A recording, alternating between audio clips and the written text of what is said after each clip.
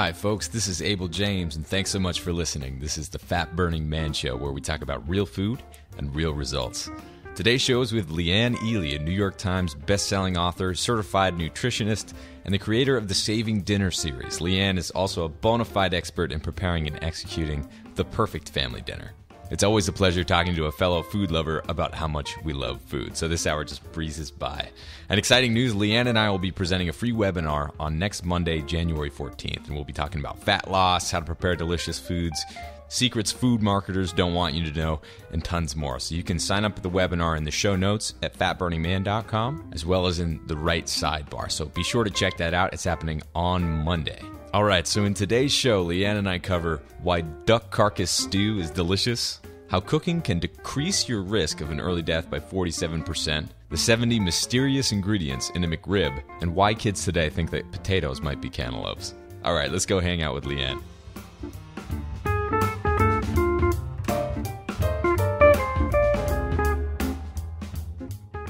Hi, folks. Today we're here with Leanne Ely, who is a New York Times bestselling author, as well as the creator of the Saving Dinner series. How's it going, Leanne? It's going great. How about you, Abel? I'm doing terrific today. So Awesome. you you just finished up an awesome workout, I hear.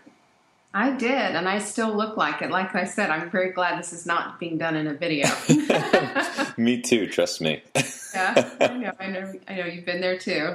I have certainly been there. Yeah, whenever I'm interviewed on someone else's show, I assume that it's going to be audio, and then at the last minute, you know, like five minutes before the call, I'm like, "Oh crap!" No, I, I did, this happened to me when I did a I did a Skype chat with with uh, CNN, and they, Oh, no. I just worked same thing. I just worked. I said. Give me two minutes. And I just like, oh, I, I was still terrible. And I mean, with the sweat still on, I was putting lipstick on. So oh no, that, Yeah, that that happens to me all the time, minus the lipstick.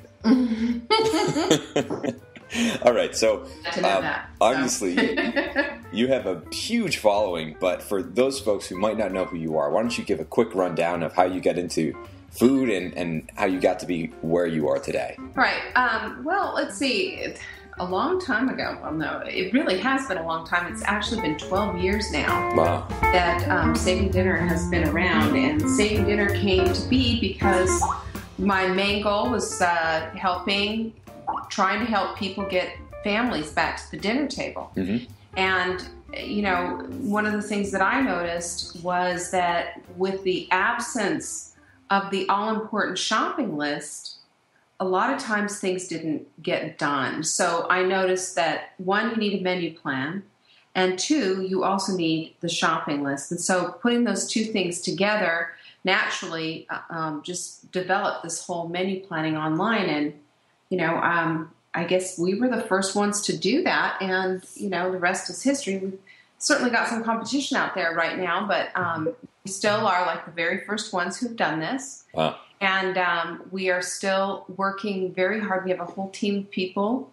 that work hard to put together um, our, our meals and our menus. And I'll tell you, it's just, it's been such a joy to do. I, I love seeing people get back to the dinner table because there's so much that that um, takes care of, just that Yeah. simple act of having dinner as a family. hmm It's becoming a lost art, isn't it? Yes, it is. Absolutely. And it's really a shame. So, uh, just, you know, if people aren't already on board with this, what's the difference between sitting around a dinner table and having dinner with your family compared to shoving a greasy burrito down your throat in the front seat of a car?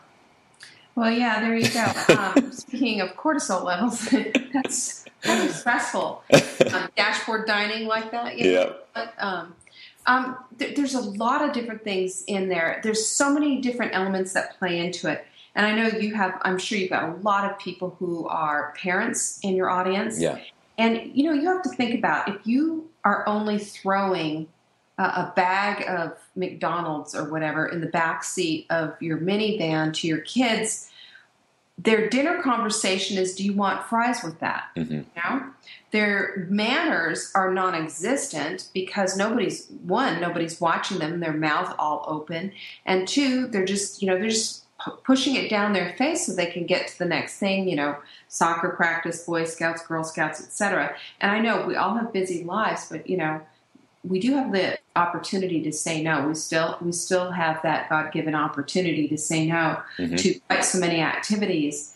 And the other, the, everything kind of falls apart when the family dinner is not, shall we say, honored. Yeah. Nutrition's not there. I mean, you talked about the greasy burrito. I talked about the bag of McDonald's. Mm-hmm. That's what happens. Or you're sitting in front of a, a television screen, and again, likewise, just eating something that the Domino's pizza guy knows you by your first name. That's always a sign that something's not quite right. Um, you, you know, the, the whole list goes on. Teaching your children how to eat properly at the table is a, a lost art as well teaching your children how to set the table, which which plate is their um, their bread and butter plate. You know, if you if you set a full table. Mm-hmm. Uh, just a quick story: a, a woman I know um, was absolutely mortified by the fact that she ate her boss's dinner roll at a at a large banquet. You know, the big round tables that seat like sixteen people or whatever. Mm-hmm. She sat down at this table and just thought, "Oh Lord!" And she was starving, and and she didn't know which one it was and she just you know it was a 50-50 crapshoot there. She picked the wrong one and her boss looked at her and giving her the hairy eyeball and he said you just ate my dinner roll. Wow. Just free and you know so yes there's implications all the way around the block when we're not doing these things that for generation after generation after generation everyone's family has done. And suddenly in this generation you know, where we're com- digital and connected with iPhones, iPads, etc., and yeah, games and whatever it is. The kids aren't outside anymore. They're sitting on their butts on the inside. They're eating all this junk food that wasn't available 30 years ago. Mm-hmm. And we wonder why we have this epidemic of obesity and, and learning disorders and, and all the rest. It all plays together. Now, would a family dinner table fix that? No, it's not going to fix that totally, but we have an opportunity to kind of buck the cultural tide a little bit mm-hmm. in our families by just sitting down at the dinner table. And obviously, the nutrition is going to be 10 times what you're going to get through any drive through. Yeah. And there's mm-hmm. and and there's it's such an emotional boost that time for intimacy and connection among your family and your friends is so important and it's something that's easily missed. Well, think about it for a minute. You know, I mean, when we you start just thinking about and just kind of deconstruct what is it to sit down and break bread with someone. It's it's a type of communion. It is it's a ritual. It's intimate. It's um, tying up loose heartstrings that might have you know accidentally, you know, you might have said something harsh to your child on on the way to school, you have a, an opportunity to reconnect at the dinner table as well. And you know, a lot of times we we use instead we use the dinner table as sort of a, a collection plate yeah. for backpacks and junk mail and everything else. And if we just stop, and it also forces us to stop, take a breath, and start and really appreciate all those little butts that are sitting at your table. I mean, you know, your little girl has has her seat your husband has his seat. Everybody has their place at the table, and I think that's very, you know, it, it, shows something. It shows this is where we are. This is who we are, and it's an identity in a way. Absolutely. So, if someone's listening out there and they've decided, okay, this year it's, it's the new year, I'm going to try to do this right. I'm going to make this a habit, mm-hmm. and and part of the nightly ritual will eat dinner at a table. Um, say they want to do that, they've already committed how in the world do you convince the rest of your family, all of your kids and your husband and whoever else might be there, that this is a good idea for them too? A family meeting is is really, I mean, you know, you have a democratic process a little bit, a little bit. It's still a, but I always say that parenthood is a benevolent dictatorship, but you do need to let everybody know what's going on. Mm-hmm. I think a lot of times with and, and I can say this because I'm a woman, but a lot of times with women, we get this all this idea in our heads okay, this is what we're going to do. This is going to improve our family dynamics. This is going to be good for the family. We're going to eat better. We're going to save money. I mean, the list goes on of all the benefits on why this is happening. And then you don't tell anybody and expect everybody to fall in line with the program that you've got in your head. Sure. So, um, so we need to really let everybody know and bring bring them aboard. And I think the first person that you need to talk to is your partner, and just say, you know, gee, I'm really convinced that this would be a really good, healthy thing for us as a family. These are the reasons why. and make sure you get the gung ho, yeah, let's do this from your spouse. Mhm. Otherwise, um, it, you know, you can start getting into some dangerous territory and have mutiny like nobody's seen to sit everybody down. I, I think that's also it's a really important thing. Otherwise, you're kind of pulling a power play Yeah. by sitting the family down and everybody's going, "What's going on?" And then you announce, you know, like you're, you Captain Bligh or something. this Yeah. is what's going to happen. I, I think this is a real mistake. So if you get, especially if you get your spouse together, you can sit down together and say, "We as a family are going to do X, Y, and Z, Mhm. and we're going to try to improve our diet, and we're going to, you know, fill in the blank." Yeah. Um, and it just it's interesting what happens. There, there's um, kids really respond. They feel more secure. They there's there's study after study after study showing that children are less likely to have an eating disorder if they eat at the family dinner table. They're be- they're more likely to do better in school. They're less likely to do drugs. They're less likely to um, do have promiscuous sex as, as teenagers.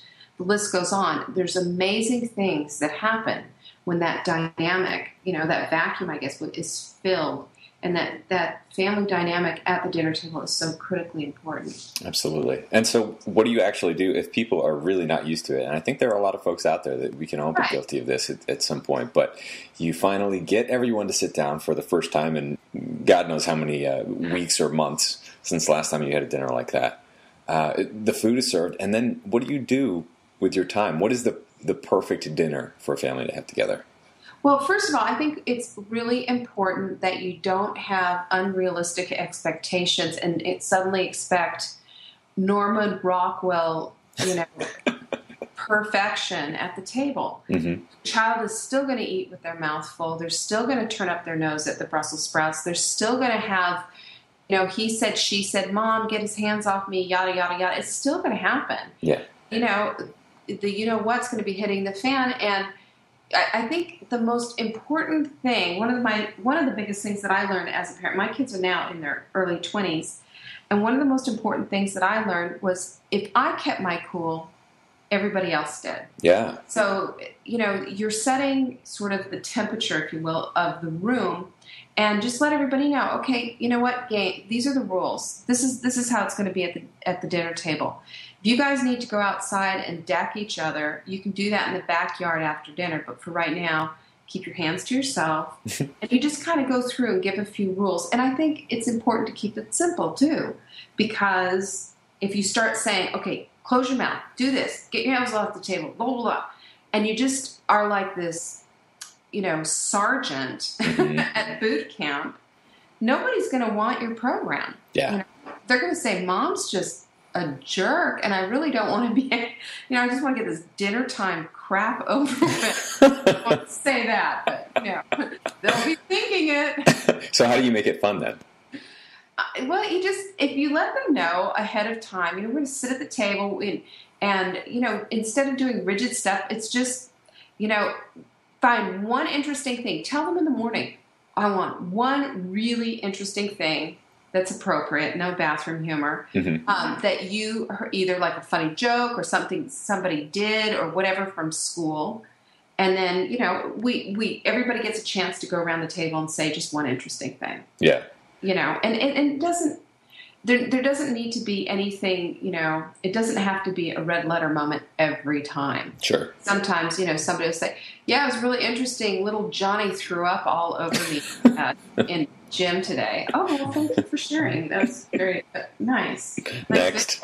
at the table Yes. but you know kids this is how kids learn and we've been generation after generation we've learned by being corrected hmm it's okay to correct your kids. Just don't overcorrect and don't make them feel like there's nothing I can do right to make this woman happy. You know, Yeah. she's constantly on me. Yeah. now, what about uh, if the kids are picky at the table? Picky is an interesting thing. You know, I had a, a seven year old um, son at the time. He was seven years old. And my kids, I've been very blessed because very conscientious eater myself. When I found out I was pregnant, I was a horrible vegetable eater. And I determined that if I didn't eat vegetables, my kids wouldn't either. So Mhm. I decided I'm going to be a good veggie eater. And I, you know, taught myself to like vegetables. I also realized you know, I hope my mom's not listening, but she, knows she overcooked the ever loving daylights out of every single vegetable that went onto our table. So I've learned that if you didn't overcook them, and there's lots of different cooking methods, they can be quite tasty. And Yeah. so I started to enjoy vegetables. So my kids were good vegetable eaters, but I couldn't break through on the salad thing with my son. And I was trying, and still do to this day, trying to do a, a fresh green salad with every meal, with lots of different stuff in it. He wouldn't touch it. No, I don't like it. And you just, I mean, meltdown at the table. And I'm like, finally, I just thought, hmm, what am I going to do here? Yeah. Well, each each day, my children Monday and Wednesday was my daughter's day to help in the kitchen, and Tuesday and Thursday were my son's days to help in the kitchen. They got to be my helpers. I got them little aprons from uh, Walmart had them, and you could use paint pens on them, and they decorated them up, put them on hooks in the in the broom closet. So they take their apron out, and we had a whole ritual that went with it, and that's really good for a lot of parents who might be listening right now. Rituals are important for kids. That's one of the reasons why the dinner table is important. Mhm. But also, helping in the kitchen is not just a, a good learning experience, it's an important ritual as well. They understand that there are things that you need to do. Go get your little stool, put on your apron, go wash your hands. And that was our little thing. So Peter went and he put on his apron, got his little stool, he washed his hands, and he looked at me, What are we going to do now? and I said, Today you're going to make a salad. He looked horrified. Yeah. Said, he said, Well, what do, what do I have to do for that? And I said, Anything you want. And I said, Well, you know where we keep everything, all the salad stuff. So he went to the crisper and he pulled out everything and he destroyed my kitchen. destroyed. But I didn't say a word. And at that dinner table that night, I'm not kidding you, he ate three helpings of that salad and every five minutes, Hey, Dad, what do you think of my salad? Mom, good salad. You think it's a good salad? I Uh-huh. made that salad. So from there, that was a big learning experience for me. And I always tell my listeners the same thing hands on nutrition is about preparing the food, it's about buying the food, it's even about growing the food. Yeah. When there's when there's involvement in it and you, there's something that you can do with it, there's a whole shift that happens. I mean, it happens with all of us. If you've ever grown a homemade tomato, I mean, you act like you have just grown the first tomato ever Mhm. in the whole world, and you're just look at everybody, look at my tomato, and you know you're not sure when you want to eat it because if you eat it, then your first tomato is gone. You know, right. you know you're looking at it and holding it to the heavens and and just bowing to it practically. So that's the whole thing that comes with getting picky eaters eating, and then you know obviously it's one of the things, and not everybody's just going to you know conform as quickly as as my son did. I think a lot of that had to do with the fact that he knew I wasn't kidding around. We're going to eat this. Yeah. And it's about holding the line a little bit and realizing that if your child does make the decision that he's not going to eat, even after, you know, a nice coercion out of you um, to just at least try it, I always say that that persistence is, is the one who's going to win. Persistence will win. And it's either going to be your child's persistence or you Yeah. and it's you have to decide who wears the mommy pants mm-hmm. and who doesn't and when you understand too that your child understands that there is no other food available if they choose not to eat that in other words he will train you if he can to make him a peanut butter sandwich if he decides he doesn't want to eat the evening meal Right. or you could be a short order cook and be making you know the dumbed down food which drives me crazy or kids meals you know mm-hmm. chicken nuggets and And mac and cheese. dinosaur oh Yeah. cheese. you know It's the worst.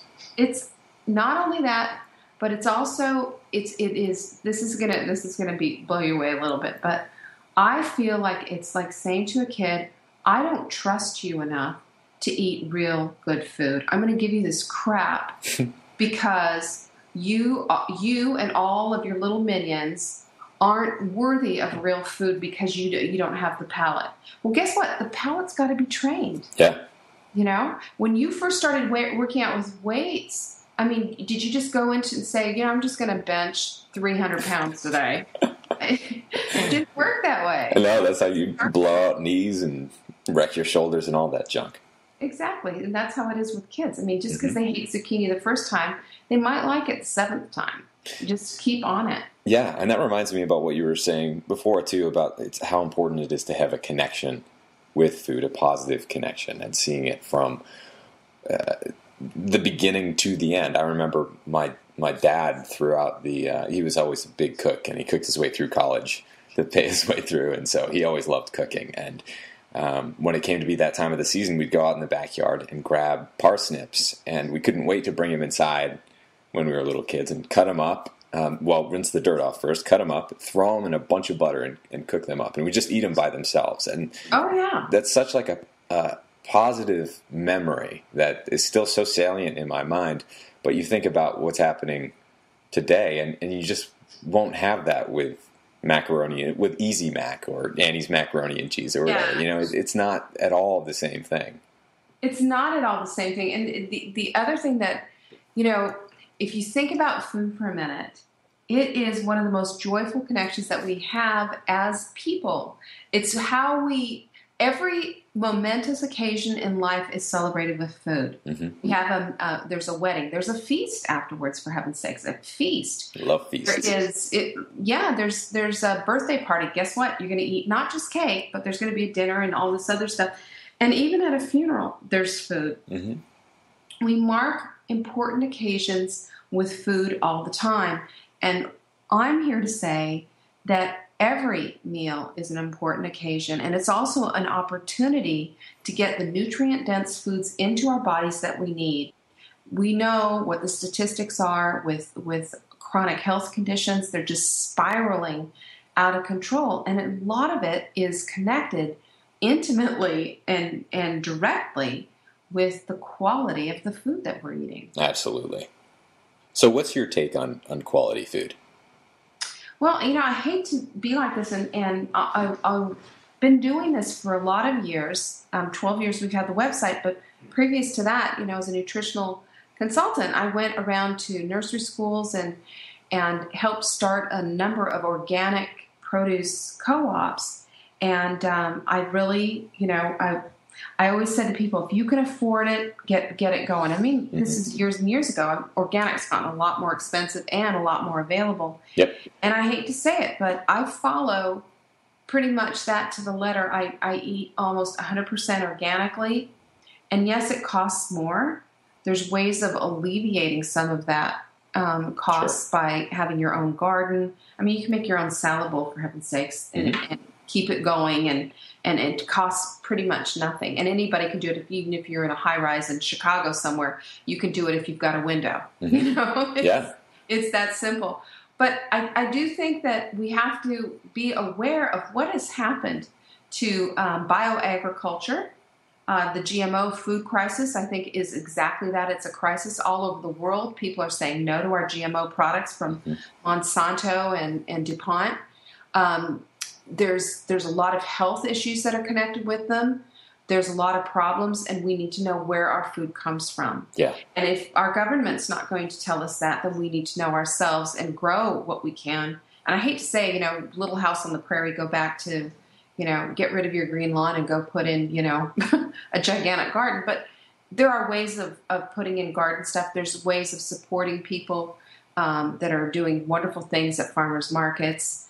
Um, there's a fantastic website. I don't know if you know about this. It's called localharvest.org. Yeah. Mm-hmm. Yeah, you should write that one down because you can type your zip code in and you can find all kinds of organic produce, even from somebody's backyard, That is so cool. isn't it? And you Yeah. can get grass fed beef that way. You know, you can do get little backyard chicken eggs and all kinds of stuff. And I love supporting the local economy. I think it's neat, and you meet the most interesting people. You sure do. Yeah.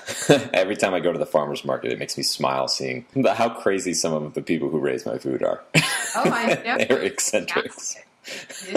Great. I love it. well, what you said too. It, uh, so for the holidays, my girlfriend and dog and I drove out to California from Texas. So it's a long drive, and we were just in a little hatchback, not the RV this time. So it was uh, we couldn't cook our whole way like we did last time. So we had to stop and try to get food at different places, and it is almost impossible to find something that I would even like reasonably want to put into my body when you're on a road trip like that. I understand completely. And you know what? Your last email too, Abel, I read, and that Cambridge study was fascinating. Isn't it?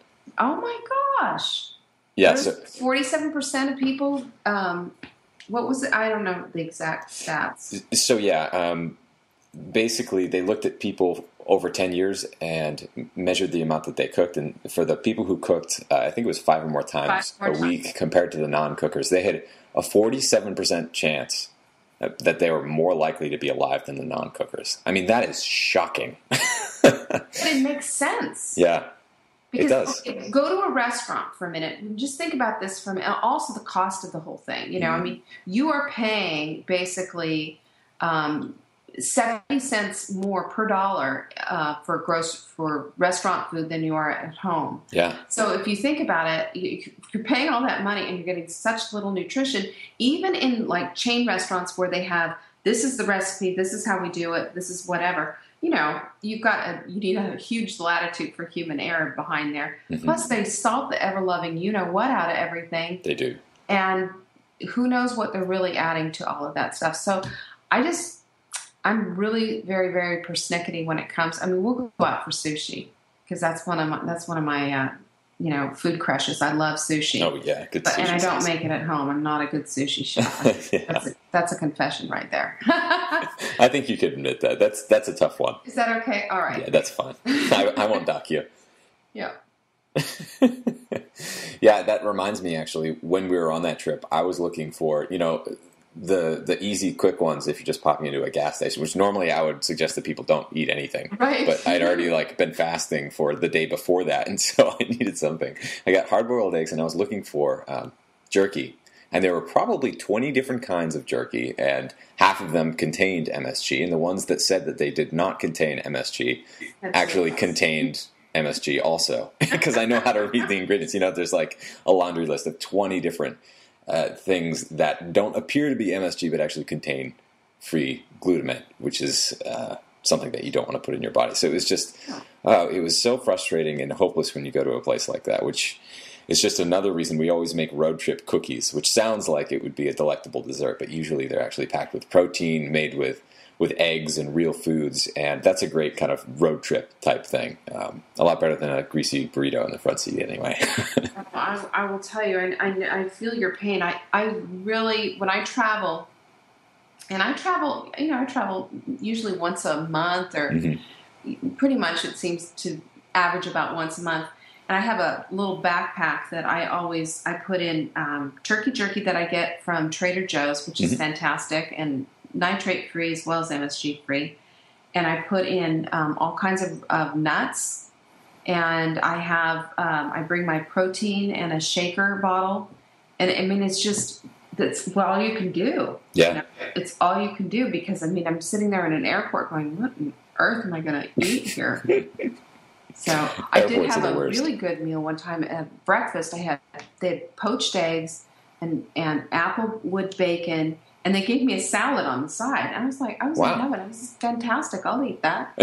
that never happens. Never. I know. This is this is at a bar in an airport. wow, how about that? know. Weird, huh? so I was reading up on, on your eating style, and I, I believe you called it part-time paleo. Is that It right? is part time paleo. Yep. So what does that mean to you? That means that sometimes I stick my toe in the dairy pool. yes, me too. I, I, I will tell you one of my favorite things. I mean, I'm I don't miss beans, Mhm. even though I make a terrific chili and and all of that, and I'll still make it, you know, for my husband. But beans, I always had, you know, I mean, I didn't have like it, it wasn't.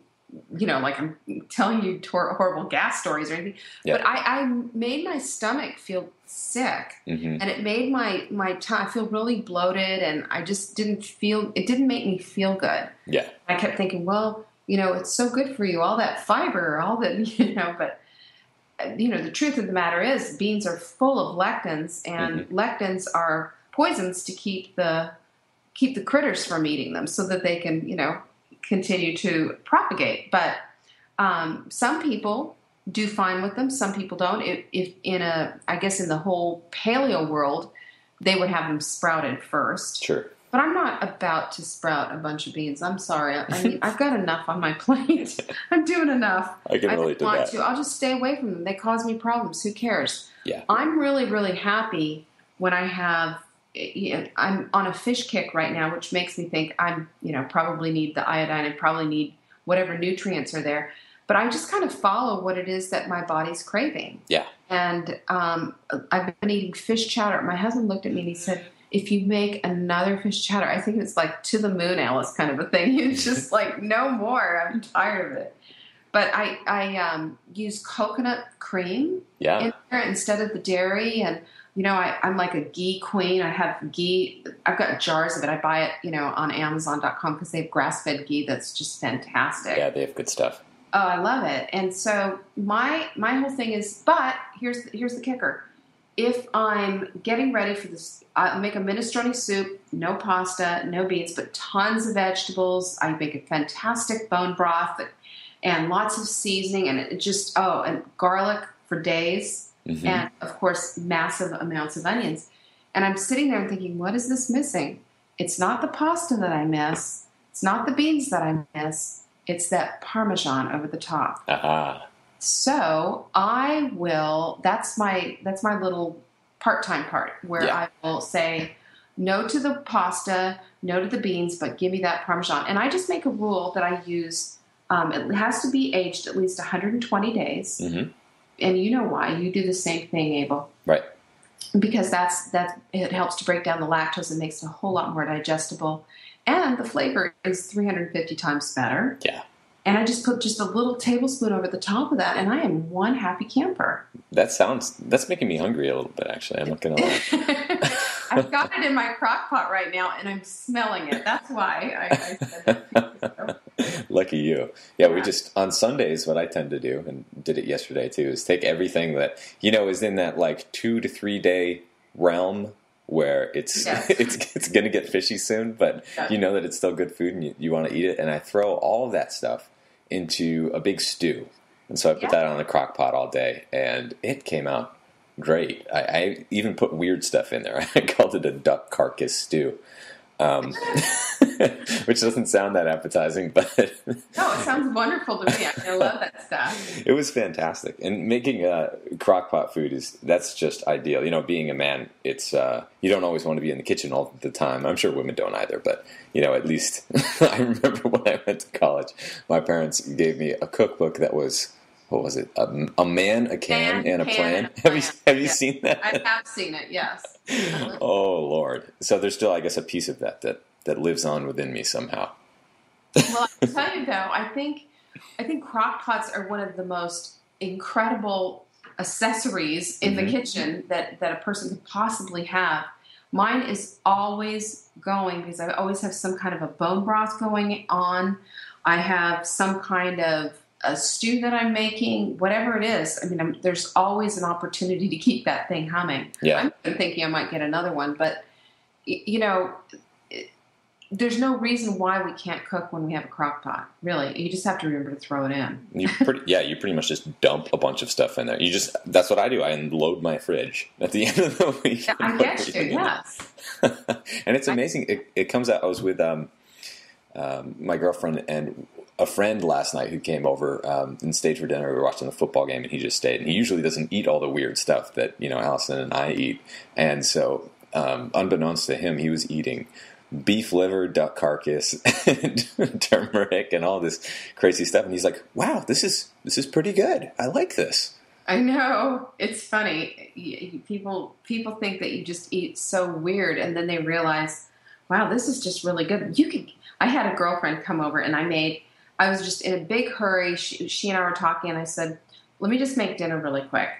And I had there's a, a Orca Bay. I don't know if you've ever heard of it, but it's a fantastic company that puts together wild fish. So you get cod, um, salmon, haddock, name that tune. They have all this wild Wow. flounder, all these wild fish, and they put them, seal them in just you know one serving piece size, and put them in a great big bag. So you pull those out, throw them in the sink, let them thaw, and get everything ready. And I sauteed up these salmon. It was wild sockeye salmon, and I just sauteed it in ghee put a little bit of of um, curry powder over the top, and then when the fish was done, and in the meantime, I sautéed up some. I had some baby greens. I had baby chard, baby kale, and I guess some spinach was in it. It was really good. Wow. Sauteed that with some garlic and ghee. I mean, here comes the ghee again, right? and when I finished the salmon, I took some coconut milk and deglazed the pan for just a minute. Mm. But it made a delicious sauce. And she said, Oh my gosh, this is like a restaurant. It took me 10 minutes to make that meal. That's 10 amazing. minutes. And now I'm famished. Thanks for that. What's that? I said now I'm famished. Thanks for that. yeah. It's good stuff. well, yeah, it is amazing. It doesn't. There's no reason that you need to be in the kitchen for three hours to make something amazing when the food starts off fresh and whole. Oh, amen to that. Yeah. and I think that's that's part of the whole thing is is um, you know first of all I say always I want to get the family back to the dinner table, but I also want to get the family to appreciate real food and to really to get away you know step away from the box, step away from all this convenient stuff. Um, and you don't need to buy a rotisserie chicken either. It's really super simple to make a roast chicken. Oh yeah. Yeah. So, you know, it's it's um it's a lost art, I think, somewhat of of people, but, but I think it's on a revival of, Mhm. of people starting to get back into the kitchen, starting to cook again. Well, just because the world out there is getting so wacky. It is. It's frightening. yeah. So it, it is. I don't. I don't like it at all. I'm just. Uh, it makes me nervous watching all of this stuff, and you know, watching all these kids. I just feel like I, I see these young. And I sound like an old lady when I say this, but I mean, I see these young women who they're in su- supposedly in their prime, and their bodies are just gone. mhm. You know, they've they've. Uh, it just makes me sad. yeah, it is tough. Well, when you think about our childhoods, and we're from slightly different generations, but Right. it, it was hard enough to be healthy then, and it's hard enough now. But it's it's not getting easier. Is the problem? Right. Um, well, I, I mean, I'm, you know, I'm definitely just a little bit older than you, Abel. But I will tell you that that um, you know, my generation, there was a computer, no nothing, and we went outside to play. Came in when the streetlights were on, and um, you know, we were expected to help with the dinner, help clean the dishes, and do all that. And it was just old-fashioned values. And Yeah. now it seems antiquated and ancient. And you know, those things worked. And there's a reason why for generation after generation after generation, families did the same thing because it worked. It, it produced successful adults. And that's all we're all trying to do is we're trying to take with our children, we're trying to raise successful adults. Motherhood is the only job that you want to work yourself out of a job. Mhm. Nobody wants their 30 year old kid living at home in the basement. right. You know? No, thank you. You want to have on your own. And this is this is one of the ways that you teach for success because eating well, and when I say eating well, meaning that you know how to cook, Mhm. you know how to go to the grocery store and identify certain vegetables, you know how to pick a good one, you know how to bring them home, prepare them, and not have them rot in your crisper. Yeah. So that's a life skill. Right. It really is. It And- is. and if you don't have that life skill, then you're at the mercy of everyone else. I don't know about you, but Don't like being at anyone's mercy. No, not at all. yeah, and for those of you, we were talking about this a little bit earlier, but if you're not on my newsletter, I was basically what I said is that I, I've realized this year what the one secret is to being lean and healthy for life, and it's not about carb cycling or macronutrient ratios or any nonsense like that. It's about learning how to cook. Mm-hmm. Um, because when you know how to cook and uh, you're dedicated to getting the highest quality ingredients, you're superhuman. There's no reason that you'd want to go out to a crappy restaurant because it's just not acceptable anymore. Um, and so, if you look at the people who are actually having success with being healthy over the course of their life, they know how to make eggs, and it doesn't have to be complicated, you know. But they they know how to use a crock pot. You can make eggs. You can make a simple roast, and uh, and I really think that that's the secret to being healthy, not only yourself but your whole family as well. Absolutely. And you know what? It, it's it's interesting. It's caught. It's not taught. It's taught somewhat, but it is a, it's one of those things that's caught. I grew up in a home where my mother was a good, you know, regular meat and potatoes kind of a cook, you know. And I said we did have vegetables. Like I said, they were just a little on the overcooked side, yeah. but she was a good cook nonetheless. My dad was a crazy man. He was um, an Englishman, and his idea of cooking was, you know, get out the fire extinguisher. Dad's cooking. so I'm serious. He, he he loved all the ethnic stuff, and he'd take me when I was a little girl. We'd go down to these ethnic markets down in Los Angeles, and and he'd bring, you know, and I'm like, what the heck? And I mean, I learned to eat frog legs when I was about five years old. Wow. Because he was, you know, he made them. Yeah. And, uh, you know, I thought that was terrific. So, you know, exposure is, you know, one of my, my friend JJ always says exposure equals preference. And she's absolutely right. And Mhm. if, if we expose our children to a lot of different flavors and tastes and what have you, and, and keeping in mind what their tastes are and making sure, too, that we always have something on their plate that they like, Yeah. um, then I think we can win the battle of the picky eater. Yeah, absolutely. And it's interesting too because, uh, like you said, things are learned and it's based upon exposure over the course of your life. But if you if you think about eating liver, which most people would assume to be gross, it didn't used to be. It used to be you know a delicacy even a generation or two ago. Um, But now, uh, you know, if my friends come over and I'm just like, oh, we're having liver tonight, they'll be like, what? um, but if you think about that, like eating liver compared to eating a fish stick or like a hot dog or a sausage, you know, like which one is grosser? like, which one is more disgusting? I'm gonna go with the whatever the heck is in that hot dog, you know, Oh, yeah. or the dog food that they serve at Taco Bell. I mean, Lord knows what's in that stuff. I don't even want to say. Well, I just did. There's a thing on my on my um, Facebook. You should go take a look at. I just posted that I found um, online about the 70 different ingredients in a McRib sandwich. Oh, I bet that's Oh man, it'll make you hurl. I'm telling you, it's 70? really bad. It's re- and you think you think why would anybody eat this? Yeah. Why?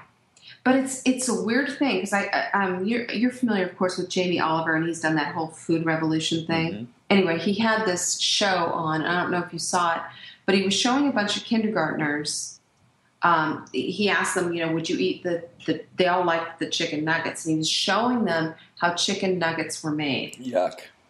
I mean, literally showing them he had this disgusting chicken. He took off all on the chicken, the cooked chicken. He pulled all the skin out and all the sinews and all the, the icky stuff, and he pushed it through. And he added a bunch of stuff to, and made them into chicken patties. And then he asked the kids how many people would eat this, and they all shot their hands up. They didn't care. It looked like a chicken, you know, chicken thing. Really?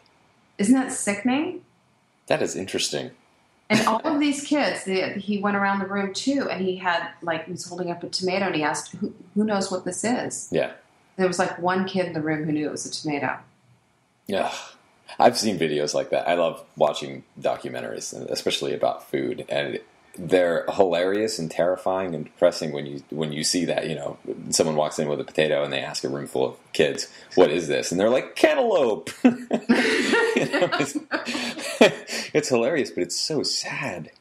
It is sad. It is sad, and I, you know that I guess that's kind of my the clarion call I would say for and my mission is to make sure that we don't lose this because it's so important, not just for you know the the closeness of our family, but also just I think just for the continuation of the species. For heaven's sake, Yeah, absolutely. You know, look at the look at the infertility rates that have gone skyrocketed out of control. hmm Why is this happening?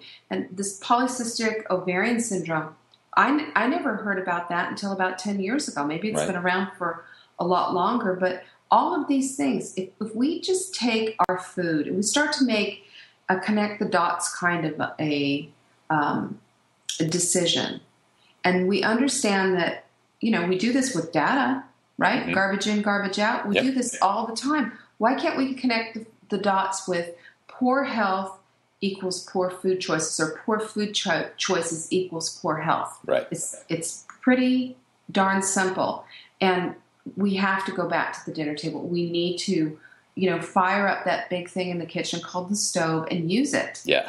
Now, Absolutely. I always say that the, the kitchen is the place where you store the large appliances. They need to also be used Yeah. in a loving manner, and it doesn't have to be hard. Yeah. One of the worst things I've ever heard, and it's repeated over and over again, and many doctors say this, is that diet has nothing to do with X, Y, Z condition. You know, You start screaming, and I'll join you. it just drives me crazy. I mean, it's it- it's insane. if you take a step back, like garbage in, garbage out, just think about it. I mean, how could it have nothing to do with nutrition? It has everything to do with what you put in your body. What happens to your body is based upon what you feed it, you know, and what you don't feed it, what it's missing, and all the junk that you're putting in it, all the toxins, as well as what you do with it, moving around. Um, you exercise, you know what that does, not just for your body, but for your mind. Oh yeah, absolutely. I mean, it absolutely. You know, all of these things. These are these are lifestyle choices that we make. Um, it's not just I'm going to have you know five weeks. I'm going to blitz and you know get the weight off from Christmas. I'm five weeks. I'm going to just do all of this and then go back to your you know merry little ways. Mhm. We we have to make a, a very we have to have a, this whole shift in our thinking and understand that in order to be you know, a successful senior citizen, if you will, um, then we need to start planning for that now. Yeah. That's not far off. I mean, they say it takes at least 30 years for Alzheimer's to develop. hmm So if you have an 80 year old with Alzheimer's, that means at 50, they were starting the descent. Yeah. Well, that's Yes. shocking, isn't it? It is shocking. And, and th- those are the, that's, that's kind of the playground we need to, to play in. Mhm. and understand that you know my mother-in-law fell down and um, we were this is a while ago a couple of years ago and we were in the mountains and you know looking at the view and everything she fell down and she could not get herself back up and i thought to myself oh wow that's what happens when you lose your upper body strength hmm and not that she can't recover that but wouldn't it be better to to have it and to maintain it hmm not have to worry about falling down and not being able to get back up. Right. So, Yeah. anyway, It's all about those healthy habits and uh, and making sure that you you stay on the right track for the long term. well, yeah. There's there's uh, life is short. I mean, I, that's that's no newsflash. I mean, every we all say that, we all think that.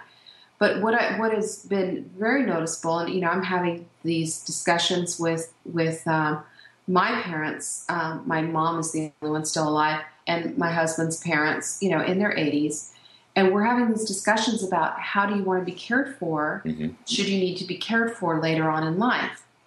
And the fact is that most elderly people need some kind of care. It's it's the it's the rare senior that is over, you know, whatever age and living on their own successfully Yeah. and able to still get around and able to still do, well i want to be that one i want to be that rare person You and it's will. not like i'm living for when i'm 80 believe me that's not the case at all but i want i want to get as much juice out of this life as i possibly can i'm Yeah. doing it right now and it's going to pay off later too when i'm old and everybody you know all these whippersnappers 75 year old whippersnappers are saying hey hey lady can you help me out That's awesome. take me for a ride down to the grocery store I like that. And you're helping so many other people do it uh, at the same time. We're just about out of time, but wh- why don't you tell folks out there uh, what you're working on now and where they can find you?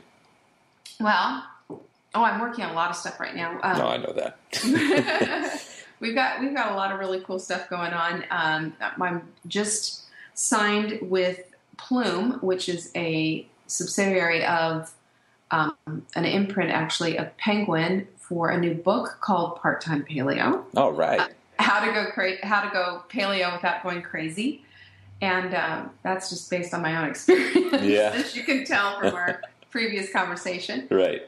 you can find me at savingdinner.com and we are you know if you sign up for our newsletter you'll get a free menu sent to you for the week um, we have all kinds of good stuff there you're welcome to take a look around read our blog posts and what have you Excellent. Well, thank you so much for coming on, Leanne. I'm, I know that we'll be talking again soon.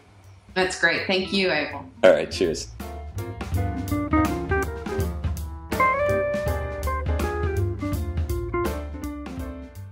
If you'd like to hear more from Leanne Ely, you can check out her website at savingdinner.com.